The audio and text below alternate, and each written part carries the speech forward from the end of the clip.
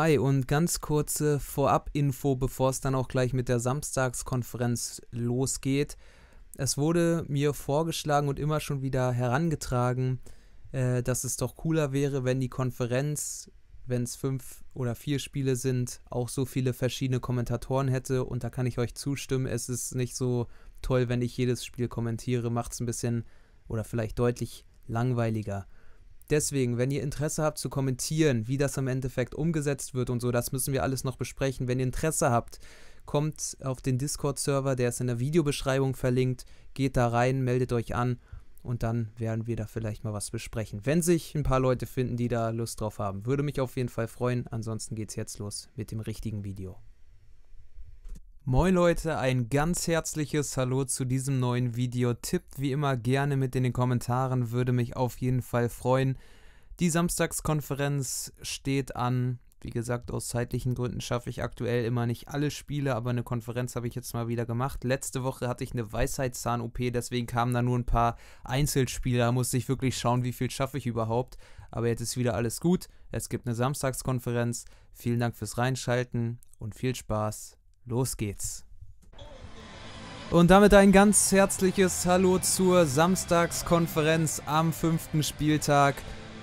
Station Nummer 1, wir sind in Mainz, dort ist der SC Freiburg zu Gast.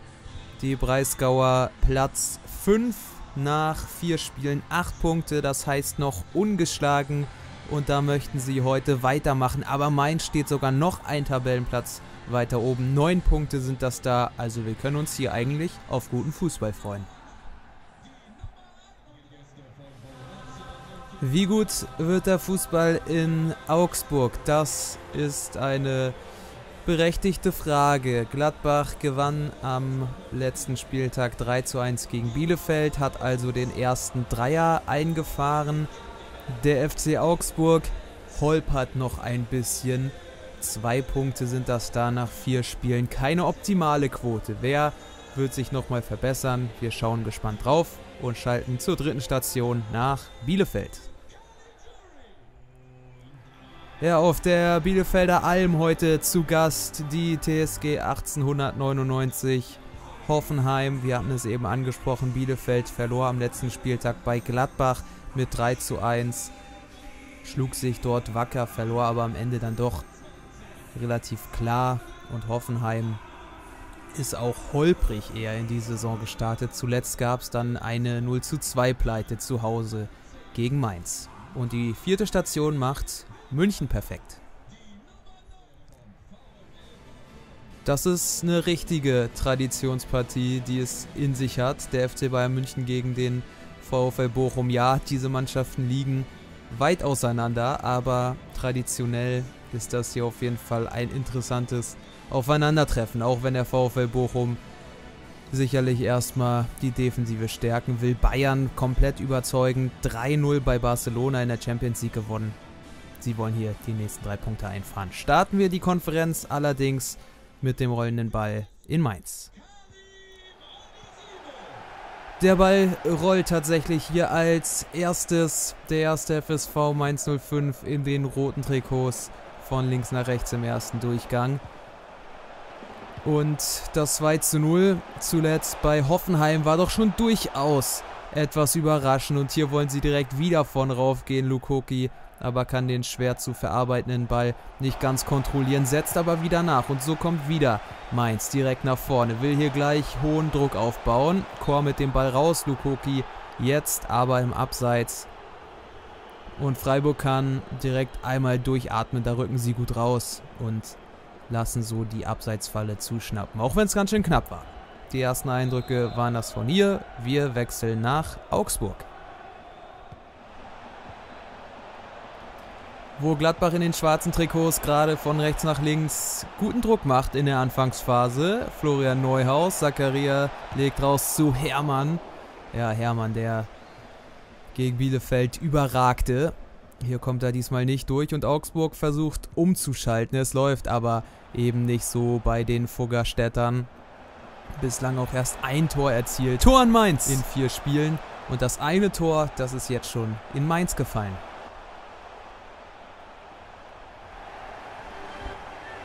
Mainz belohnt sich für eine gute Anfangsphase. Karim Unisivo mit dem 1 zu 0 Führungstreffer. Freiburg kommt hier einfach nicht rein in die Partie. Und dann steht es früh 1 zu 0.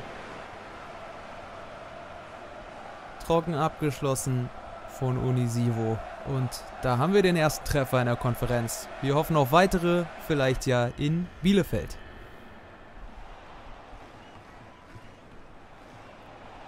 Hier sind die Gäste erstmal vorne drauf. Hoffenheim versucht schnell in Führung zu gehen. Bielefeld macht das aber bislang gut, verteidigt das stark. Auch hier wieder Brunner aufmerksam, lässt da Brun Larsen nicht mal den Hauch einer Chance vorbeizuziehen.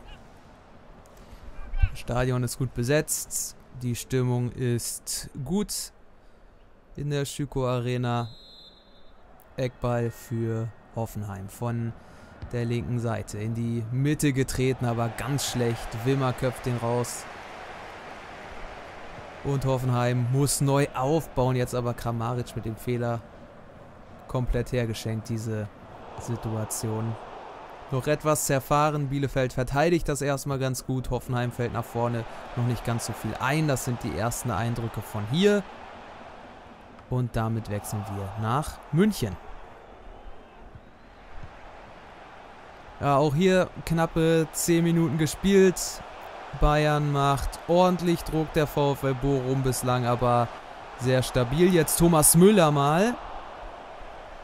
Zumindest mal ein Abschluss. Es wird nicht wirklich gefährlich für Manuel Riemann.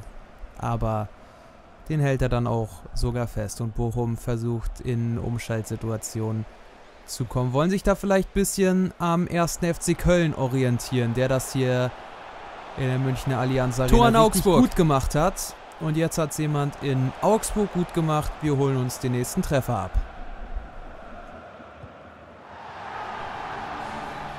Der FC Augsburg geht in Führung. Niklas Dorsch mit dem 1 zu 0 für die Fuggerstädter.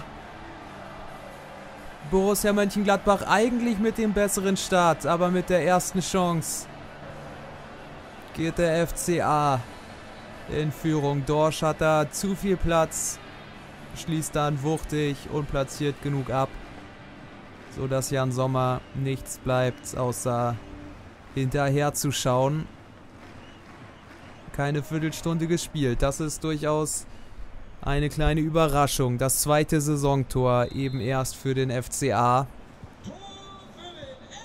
Da soll der erste Sieg her im fünften Spiel. Gladbach ja auch alles andere als positiv gestartet. Auch wenn man am ersten Spieltag bei den Bayern 1 zu 1 spielte. Es muss besser werden. Wir wechseln.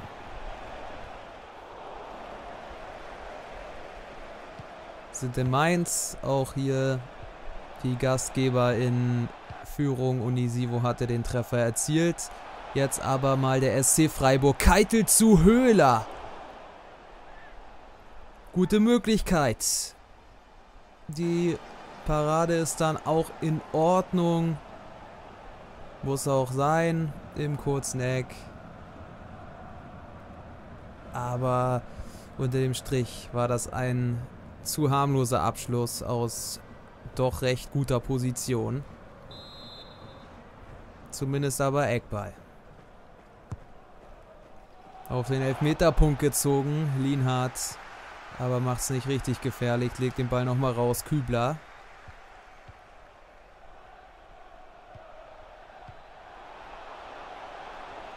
Freiburg hat die Kontrolle, aber es fehlt der letztendliche Zug nach vorne. Jeong nochmal. Höfler, gutes Auge für Vincenzo Grifo. Riesenchance. 0-0 weiter hier.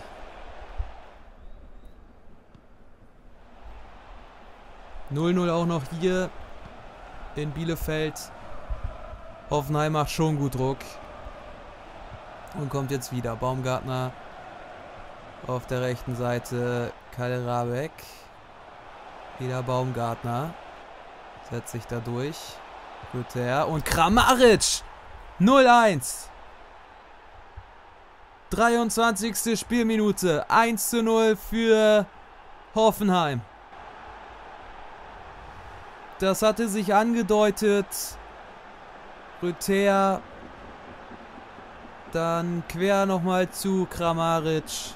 Und vorbei an Stefan Ortega, der hier nichts machen kann. Und Hoffenheim kann feiern nach 23 Spielminuten. 0-1 hier. Wir warten noch auf einen Treffer in München. Vielleicht kommt er ja jetzt. Ja, und vielleicht kommt er sogar für den VfL Bochum. Polter über die linke Seite. Holtmann. Danilo, Soares, Holtmann. Jetzt steht Bayern aber auch gut und dann ist es auch da relativ kompliziert durchzukommen. Upamecano mit dem guten Zweikampf bringt den Ball zu Serge Gnabry. Das Kompliment kann man dann spiegeln. Der VfL Bochum nach Ballverlust dann auch wieder gut in Position. Hier brennt tatsächlich relativ wenig an. Es ist noch ein Tor in Augsburg. Relativ unattraktives Spiel. Tor in Augsburg ist viel spannender. Der Ausgleich. Lars Stindl mit dem 1:1 in der 26. Spielminute. Geht er auf die Bande, lässt sich feiern. Vorlage Neuhaus. Dieses 1:1 ist auf jeden Fall verdient. Sigikiewicz fliegt vergeblich. Platzierter Linksschlenzer in die linke Ecke vom Kapitän. Ist den Spielanteilen auf jeden Fall gerecht, dieses Ergebnis. Aber vielleicht kann ja Augsburg direkt heute noch einen zweiten Treffer erzielen. Wir bleiben auf jeden Fall dran hier. Tor in Bielefeld. Beobachten das. Der zweite Treffer jetzt auch in Bielefeld. Ebenfalls der Ausgleich.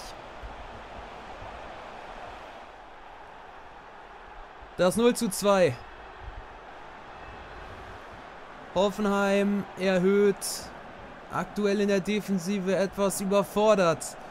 Die Arminen. Rütter geht auf die Grundlinie. Und Baumgartner hält die Fußsohle rein, drückt den dann aus kurzer Distanz über die Linie. Und so überragend Stefan Ortega ist, da hat nicht mal er noch eine Chance. Halbe Stunde Marke geknackt. 2-0 für die Gäste. Es sieht richtig gut aus. Und Bielefeld muss sich einiges einfallen lassen, um das hier noch zum Positiven zu wenden. Unmöglich ist es sicherlich nicht, aber Hoffenheim, heute sind sie tatsächlich mal in richtig guter Form. Nochmal nach München.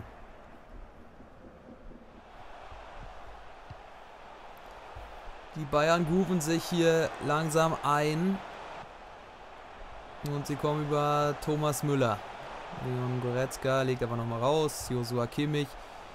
Hektisch sind sie nicht, aber irgendwann muss eben dann auch mal was nach vorne kommen. Goretzka wieder. Die Thomas Müller. Und der ist eiskalt. 1 zu 0, 34. Minute. Eröffnet den Torreigen wie schon in Barcelona erzielt er Thomas Müller das wichtige 1 zu 0. Das natürlich der Dosenöffner sein kann in so einer Partie. Bochum ist jetzt gefordert, geht aber auch zu leicht. Müller geht einfach in die Spitze rein, bekommt den Ball. Richtig Druck auch nicht, nur so ein bisschen von der Seite. Und somit steht es nach 34 Minuten 1 zu 0 für den FC Bayern. Das ist auch so in Ordnung, das ist vollkommen Tor in Bielefeld. Aber Bochum hatte sich bis hierhin eigentlich ganz gut geschlagen und wir haben den dritten Treffer schon in Bielefeld. Es geht jetzt Schlag auf Schlag und Bielefeld muss aufpassen, dass das hier nicht innerhalb bis mittelschweren Katastrophe endet. 0 zu 3. Rüther mit zwei Vorlagen und jetzt mit seinem eigenen ersten Treffer Ortega kommt raus, kann einem leid tun. 0-3 hier, sehr, sehr deutliche Angelegenheit. Geben wir weiter nach Mainz.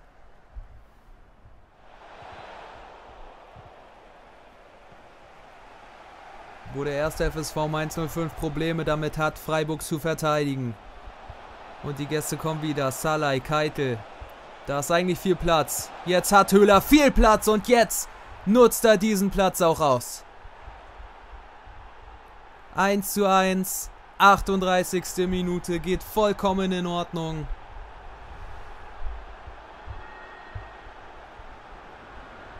Schön mit der Hacke rübergelegt.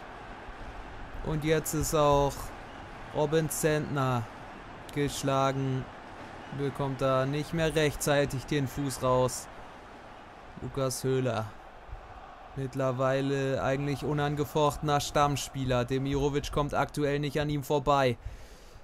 Und das beweist er hier wieder, warum das so ist. 1 zu 1.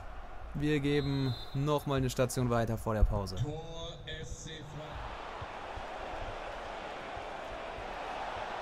Wo Gladbach vor der Pause noch das Spiel komplett drehen will. Hermann kommt nicht durch. Raube Leo klärt die Sache. Und Diago, der hat viel Platz. Über links. Zu viel Platz. Gladbach pennt, pennt da ein bisschen hinten. Passt nicht so richtig gut auf. André Hahn. Aber jetzt ist auch wieder vorbei, die Szene. Doch nicht ganz. Dorsch nochmal. Raus zu Gumni. Quer. Caligiuri kommt aber nicht durch. Nico Elvedi.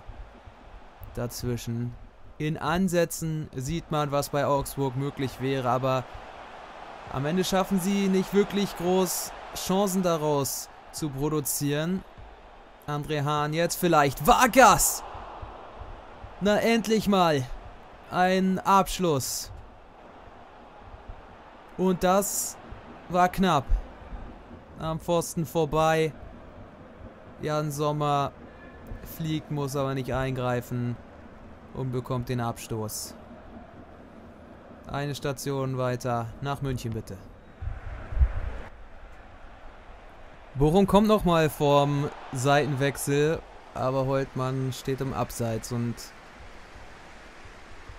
so trudelt die erste Hälfte langsam aus. Hat Holtmann mit seiner Schnelligkeit eigentlich nicht nötig, diesen extra Shit in Richtung des gegnerischen Tores zu stehen. Weiß er sicherlich auch selber am besten. Aber es ist nicht das ganz eindeutige, nicht das krasse Kontrastprogramm zwischen Bayern und Bochum. Bayern vielleicht auch nicht mit hundertprozentigem Einsatz, aber der VfL Bochum erhält wirklich gut dagegen und setzt eben auch immer mal wieder Nadelstiche nach vorne.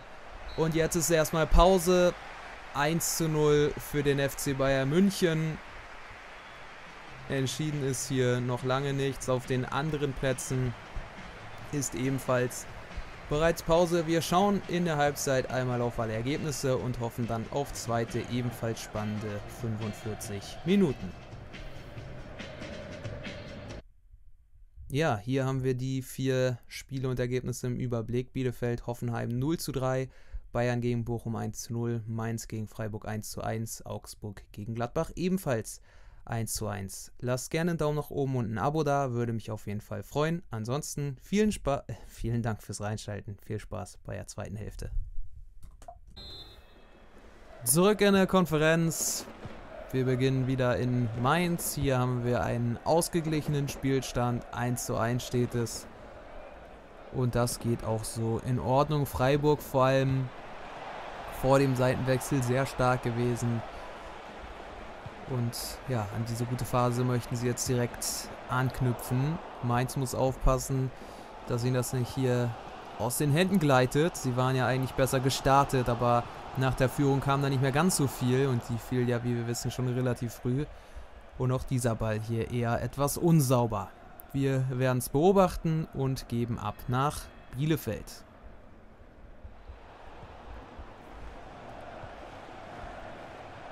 Und hier braucht die Arminia am besten in den nächsten 10, 15 Minuten das 1 zu 3. Sonst wird man hier gar nichts mehr holen können. Nicht viel los. Uku Gava, aber gut. Das kann man tatsächlich auf so ziemlich jeden Bielefelder Spieler aktuell beziehen. Hoffenheim macht es aber auch gut. Das soll keine allzu große Kritik an den Gastgebern sein. Aber auf der anderen Seite, so richtig viel bieten sie noch auch nicht an und Hoffenheim hat auch keine Probleme, das zu verteidigen. Da muss ein Umschwung her. Vielleicht mit Pritel über Lawson, über Lawson, legt nochmal zurück und Robin Hack. Nachschuss. Alessandro Schöpf. Na, das war doch mal was. Tor in Augsburg. Super Parade und dann Schöpf ans Außennetz und der Treffer in Augsburg. Gladbach dreht das Spiel 2 zu 1 für die Borussia. Alassane Player macht es. Und bringt die Fohlenelf erstmals an diesem Samstagnachmittag in Führung. Sehr starke Drehung um Leo herum. Dann ein guter und platzierter Abschluss. Die gleiche Ecke wählte auch Lars Stindl im ersten Durchgang. Auch das war erfolgreich.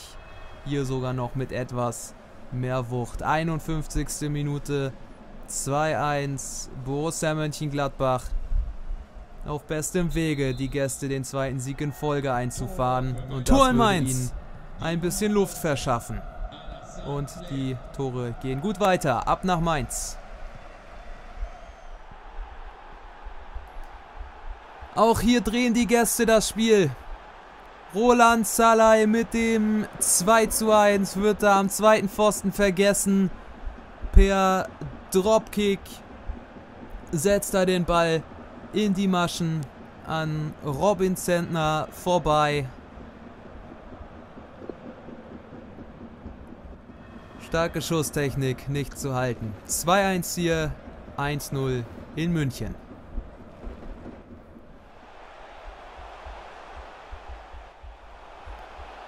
Eins hier in München, ja. Und der FC Bayern möchte das ausbauen. Mit Thomas Müller, der da schalten und walten kann. Müller. Jetzt hat er das gute Auge für Josua Kimmich, der einfach mal durchläuft. Und das 2 zu 0 macht. Die beiden Tore zu einfach kassiert. Und da reißen sie sich so ein bisschen selbst das ein, die Bochumer, was sie sich aufgebaut hatten. Gute, stabile Verteidigung, dann so ein doch recht einfaches Tor. Kimmich läuft einfach durch. Kommt keiner mit. Der bleibt dann eiskalt vor Manuel Riemann. Und so steht es nach 55 Minuten 2 zu 0. Und jetzt Tor in Augsburg. Eine ganz große Aufgabe. Tor in Augsburg, Ausgleich oder auch große Aufgabe. Ja, die Aufgabe für Augsburg, sie wird größer, weil das 3 zu 1 gefallen ist. Doppelpack Alassane Player wieder Leo, der da ein Stück zu spät kommt, zu weit weg ist. Und in der 56. Spielminute ist es dann schon ein etwas komfortabler Vorsprung. Tor für Borussia Mönchengladbach. Die Nummer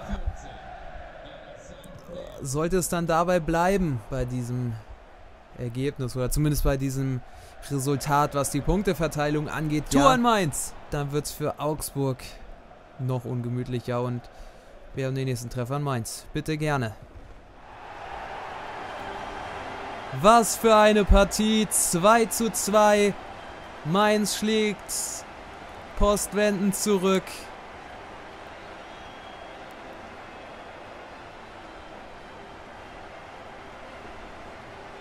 Jean-Paul Boetius lässt sich da nicht zweimal bitten und wuchtet den Ball ins lange Eck. 2-2 hier, viel deutlicher in Bielefeld. Und es ist immerhin auch gleich schon eine Stunde gespielt. Das heißt, es wird enger, Klar, selbst wenn das 1 zu 3 in der 75. fällt, kann es auch immer noch spannend werden. Aktuell fehlt aber so ein bisschen die Fantasie. Hoffenheim weiter im Vorwärtsmarsch. Grilic und Kramaric.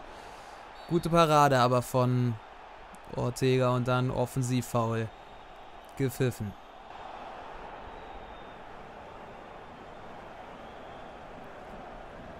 Bielefeld ja auch, naja, immerhin erst einmal verloren, dafür dreimal unentschieden und noch nicht gewonnen. Das wäre jetzt die zweite Niederlage. Damit kommt man eben auch nicht voran. Und es wird wohl auch dabei bleiben. Ab nach München.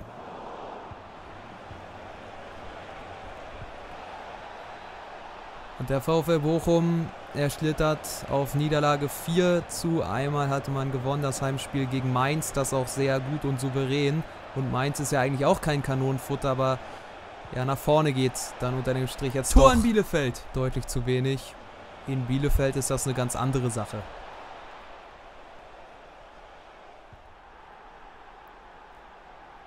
Vor allem für Hoffenheim. Es steht 0 zu 4. Das dürfte dann endgültig die Entscheidung sein.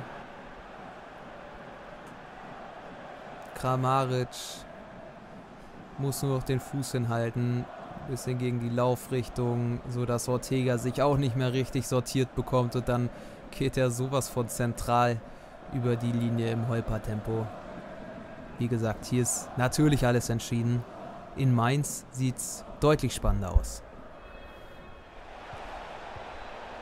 Hier haben wir zwar ebenfalls vier Tore, aber komplett ausgeglichen verteilt.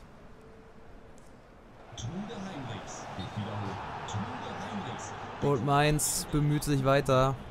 Jetzt aber abseits Position von Wittmar. Und das ist vollkommen richtig.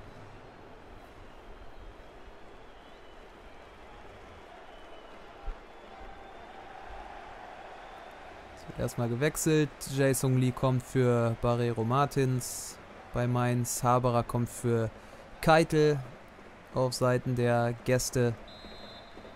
Noch ein bisschen Schwung jetzt reingebracht für die letzten rund 25 Minuten. Und Freiburg. Viel Platz im Strafraum für Vincenzo Grifo. Den darf er eigentlich nicht bekommen. Aber er kann sich nicht durchsetzen in dieser Szene. Also, 2-2 hier. Eine Station weiter, bitte.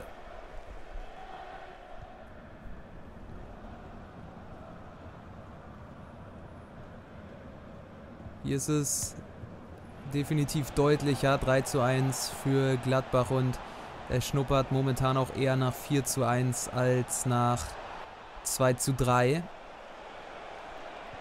Gladbach macht es wirklich gut, auch Tor in Mainz. zwischendurch zurücklagen.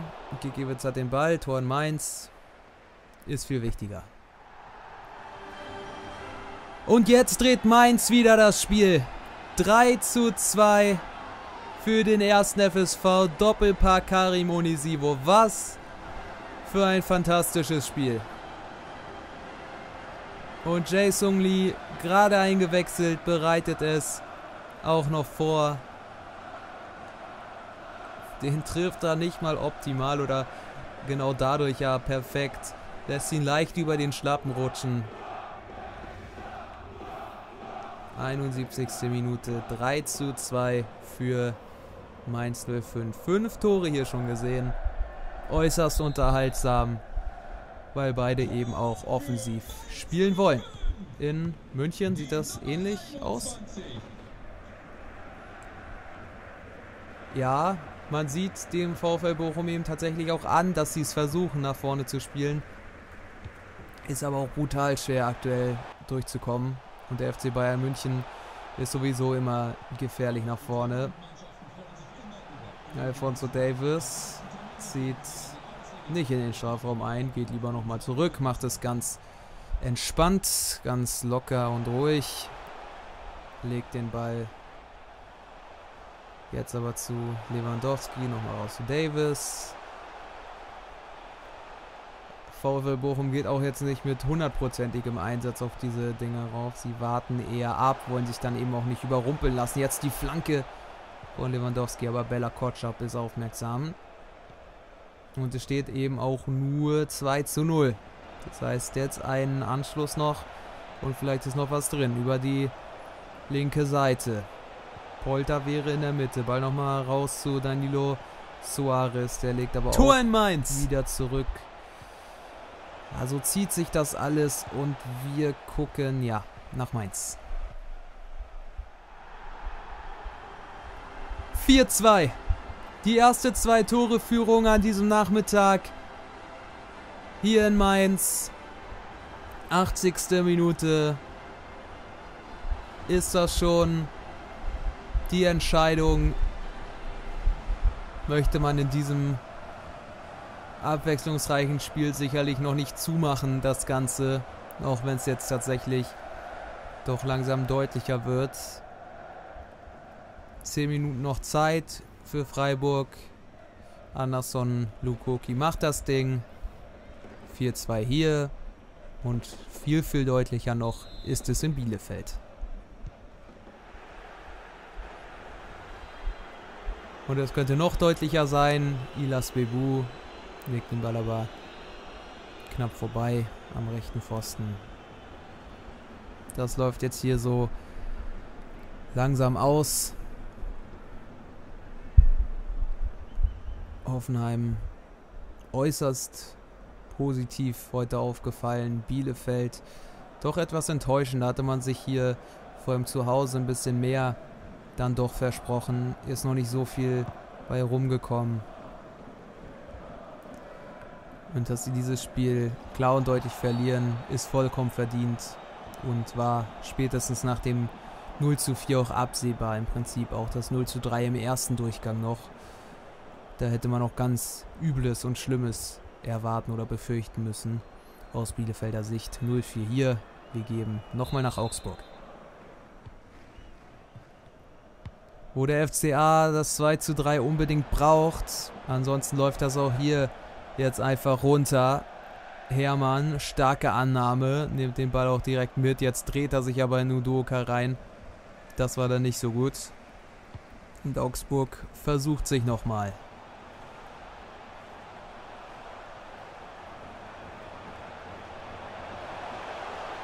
Die letzten fünf Minuten sind angebrochen. Aber wo ist die Unterstützung? Die Flanke kommt trotzdem nicht schlecht. Sommer faustet raus. Scully. Und Arnemeyer jetzt. Arnemeyer raus zu Niederlechner. Caligiuri. Uh. Das hätte es nochmal sein können. Das hätte es tatsächlich nochmal sein können. Der Ball geht aber nur ans Außennetz. Wir wechseln nochmal.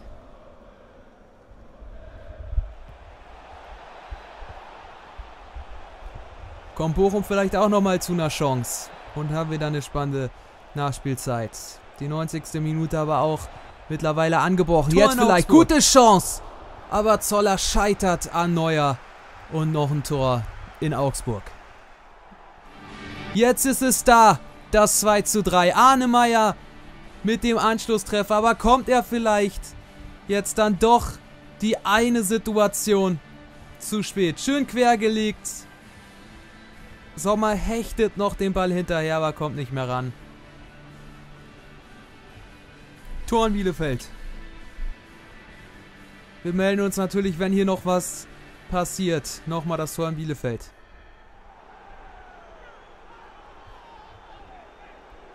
Puh, das muss man sicherlich dann auch erstmal verarbeiten. 0-5. Ilas Bebu mit dem Tor. Bielefeld vorher in vier Spielen nur fünf Gegentore kassiert, jetzt hier in diesem alleine fünf und selber drei erzielt. Das ist auch ein bisschen zu wenig. So, aber weil hier schon lange alles klar ist, gehen wir nochmal zu einer, vielleicht zu der spektakulärsten Partie nach Mainz. Wo Freiburg sich auch nochmal reckt und streckt, aber die vier Minuten Nachspielzeit, sie sind mittlerweile auch abgelaufen und zwei Tore werden hier wohl nicht mehr fallen. Feierabend auf den anderen Plätzen. Hier kommt nochmal der Flankenball. Unisivo köpft raus. Sind jetzt mittlerweile auch fünf Minuten schon drüber. Yannick Haberer nochmal raus zu Höhler.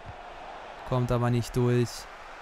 Und Saint-Just bereinigt das Ganze und beendet damit diese Konferenz. Einige, viele Tore gesehen. Hier sechs, fünf in Bielefeld, zwei in München, fünf auch in Augsburg.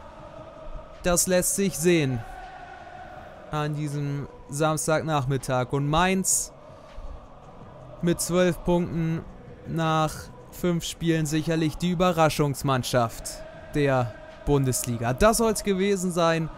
Bleiben Sie auf jeden Fall sportlich, bleiben Sie am Ball. Bis dahin und tschüss. Jo, das soll es dann auch wieder gewesen sein mit dieser Konferenz. Wenn ihr Interesse am Kommentieren habt, dann meldet euch beim Discord-Server an. Vielen Dank fürs Zuschauen. Bis zum nächsten Mal. Haut rein, meine Freunde und Freundinnen. Adios.